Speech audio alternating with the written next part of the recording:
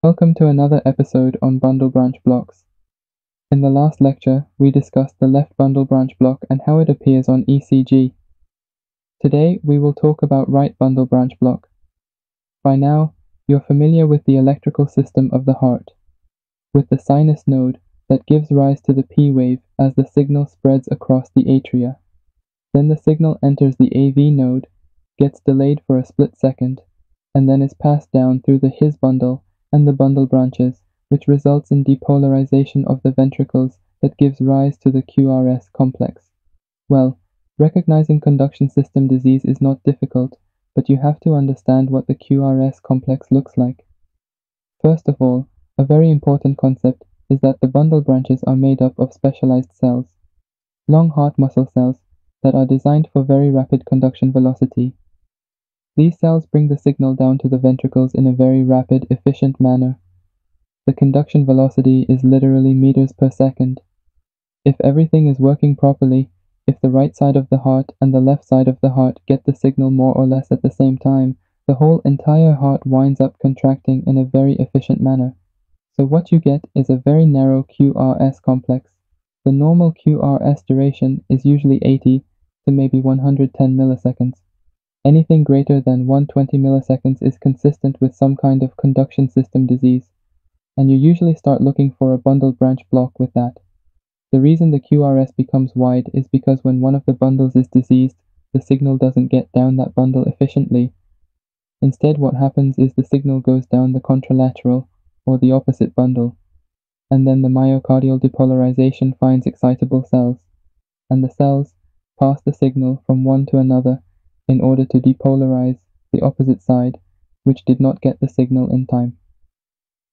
The important concept to understand is that the bundle branch doesn't have to be blocked in order for the QRS to become widened. The key is that one of the bundles has to be a little slower than the other and then you'll get this phenomenon where the QRS takes longer to originate because the signals are going down slower cell to cell connections instead of the rapid Purkinje system. But it doesn't have to be blocked, so the word block is a little bit of a misnomer. I'm sure you've heard of incomplete bundle branch blocks. Well, what does incomplete mean? Well, you see the word block simply implies delay. So you can have a little bit of delay or you can have a lot of delay and that's going to affect how the QRS looks, and obviously, how wide the QRS is going to be. Okay, let's get a little bit more specific. If you're looking at the limb leads 1, 2, and 3, generally, if you have a normal QRS complex, a normal QRS is going to be up in 1, and it's going to be up in AVF assuming that you have a normal axis. Lead 2 will generally be a little bit taller than lead 1, because axis usually runs in this direction down into the left, and lead 3 will often be a bit smaller because lead 3 is looking in this direction. So what happens when the right bundle doesn't conduct properly is that the electrical signal travels through the left ventricle normally. So the initial part of the QRS complex stays the same. But then the right ventricle depolarizes late. Now where is the right ventricle located? It's located on the right side of the body, but also anterior. So if I were to draw the chest here with the sternum in the front and the spine in the back, the right ventricle is more in the anterior part of the heart, and the left ventricle is more posterior. Okay, so when the right bundle is blocked to any degree, you have the latter part of the QRS complex later signals after the left ventricle has completed its sequence of activation. Now you have the right ventricle depolarizing later, and where does it show up? Well, it shows up on the lateral leads because after all lateral leads, like lead 1, are looking. Remember, lead 1 is from right arm to left arm, so it's looking for signals that are going towards the left side. Since the right ventricle is on the right side and signals are traveling away, what's going to happen is that you're going to wind up seeing late signals in the lateral leads. So what you'll see is a negative signal on the tail end of the QRS complex. Why is it so small? because the right ventricle is relatively thin, and it doesn't generate a lot of electrical current. And why is it wide? Because these signals are traveling slowly from cell to cell, it takes longer to get around the right ventricle. And why is it negative? It's negative because these signals are going in the opposite direction than where lead 1 is looking at, so it's inscribed as a negative signal. So you can imagine that AVL is going to look much like lead 1. In fact, they usually look the same because they're both looking at the lateral wall of the heart. So AVL is going to look this way, 30 degrees above the horizontal. Now how will that look in the inferior leads? Well, it really kind of depends on the axis, but it's not uncommon for people to see delayed signals in the inferior leads, because after all, the QRS duration now has widened. You're looking at 120 milliseconds or greater for a right bundle branch block, and so in lead 3 there's going to be a late signal here. It's not exactly consistent, because the signal is going in the opposite direction. Now, what about the precordial leads? What about V1 through V6? Well, remember, V5 and V6 are also lateral leads, and they're going to look just like 1 and AVL, with a fairly normal P wave. The beginning part of the QRS should look normal because that represents left ventricular activation, but there is going to be a wide S wave as classic pattern for a right bundle branch block. Now, what's V1 and V2 going to look like? Well, these are actually the easiest ones to recognize. Because the right ventricle is anterior, it's actually very close to V1 and V2, and so the signals from the right ventricle tend to be relatively large. Now, normally, what should V1 look like? Normally, V1 should have a small septal R wave, and then a deep S wave followed by an upright T. Just as a review, that septal R wave occurs because the septum is generally depolarized off the left bundle, and so septal depolarization travels anteriorly and to the patient's right.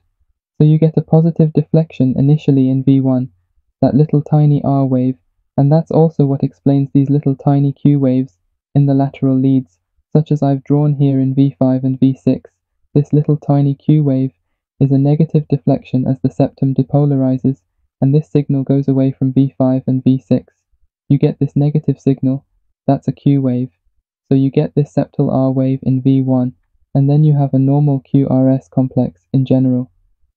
But now, what happens in a right bundle branch block is that you get these late signals traveling towards V1 and V2 because the right ventricle is depolarizing late. So what you get is this positive deflection, which corresponds with the S wave in 1 and AVL, V5 and V6, but in V1 it's a positive deflection. If I redraw it's known as an R prime. It corresponds with the S wave here, but because the signal is going towards V1 and V2, it's a positive deflection. It's also very common for the T wave to become inverted, because when the sequence of depolarization is thrown off, the sequence of repolarization is usually thrown off. So instead of having an upright T wave with the right bundle branch block, there's usually a negative T wave. Now this RSR prime pattern, the relationship between the left and the right ventricular masses, and the timing between the two ventricles can look like this, or it can sometimes have a more prominent R prime pattern. In fact, on occasion, you'll see notching like this when the R wave is taller than the S wave. Okay, well let's get to some tracings. So here's a normal sinus rhythm at a rate of about 70 beats per minute with a normal PR interval. When you look at the QRS complex, it looks almost normal. I think if you measure it, it winds up being about 110 milliseconds, it's upright in 1 and AVF, so the axis is normal. But when you glance at the precordial leads, this is where you'll see this R prime. You have an RSR prime pattern. You can see the R prime also in V2. However, the QRS duration is not long enough to call this a right bundle branch block, because the right ventricle is not depolarizing that much later than the left side. So what you have is just simply delay in the right bundle branch. Some people will call this a right ventricular conduction delay, but most cardiologists will go ahead and label this an incomplete right bundle branch block. Again, incomplete block is a bit of a misnomer. But, in any case, this is a typical example of a right IVCD. Now, if you notice there is a little bit of an S wave that's prominent, especially here, but it's not terribly wide. The next example is a classic right bundle branch block pattern here, you have a little bit faster heart rates, about 105 or 110 beats per minute. When you look at the limb leads, you see there's a very nice broad S wave here, in 1 and AVL. Even the voltage is a little bit low, and you have a beautiful RSR prime in V1 and V2 and even V3. The R wave is very small, and it grows, and so the R wave progression is normal. The total QRS duration here is about 130, maybe 140 milliseconds, so we would call this a right bundle branch block. It's classic. You should never miss this. So that's it for today. See you in the next lesson.